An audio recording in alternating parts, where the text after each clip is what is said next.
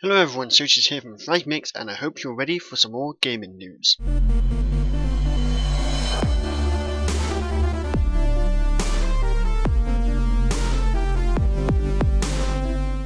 We are going to dive right into some charity news. Now, a few days ago, we reported that in the recent Diablo 3 patch, players were able to exploit the in-game auction house and gain trillions of gold causing Blizzard to shut down the in-game auction house to resolve the issue.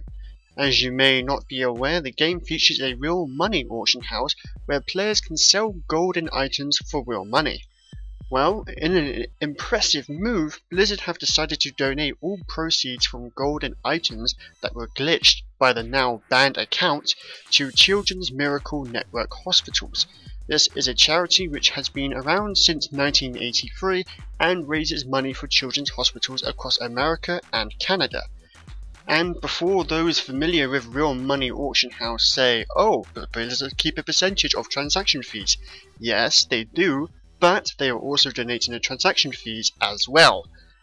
There is no word yet on how much money is being donated, but this is certainly a very impressive move by Blizzard, so hats off to them for making a fantastic decision. Also, on a side note, can I just say that anyone who glitched trillions of gold, did you really not expect to be caught?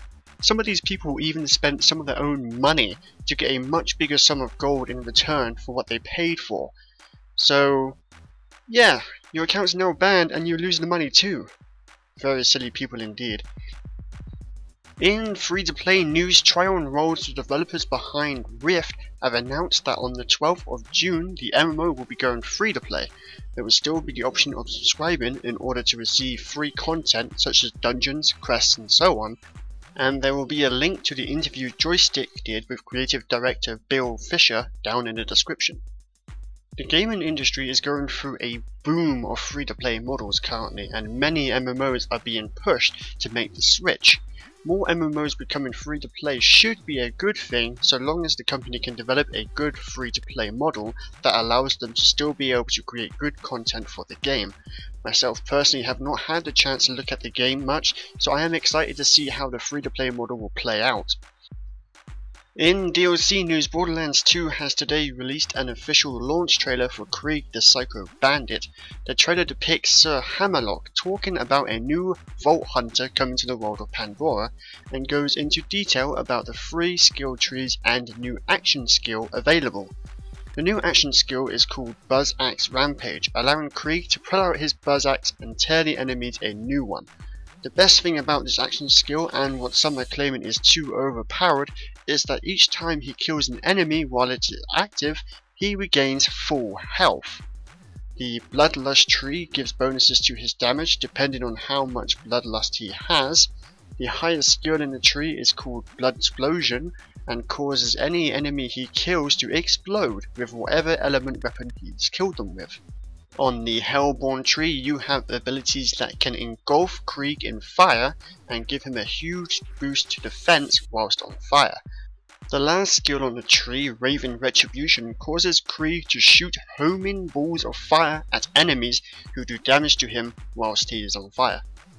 And lastly in the Mania tree, featuring skills that make Krieg stronger when his shields are down, even giving him the ability to throw dynamite at enemies whilst down, and of course, the last skill on the Mania tree causes him to turn into a badass psycho mutant if he activates his Buzz Axe Rampage whilst below 33% of max health, and it heals him to max health and causes him to do massive melee damage.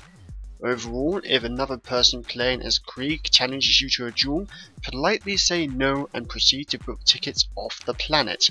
Krieg can now be downloaded for 800 Microsoft points on Xbox 360 and $9.99 on PlayStation Network and Steam. And that is all the gaming news for today. I hope you all enjoyed. Please feel free to like and subscribe if you haven't already, and I will see you tomorrow. And my wife is going to get such a surprise when she plays Borderlands 2 with me tonight. Goodbye.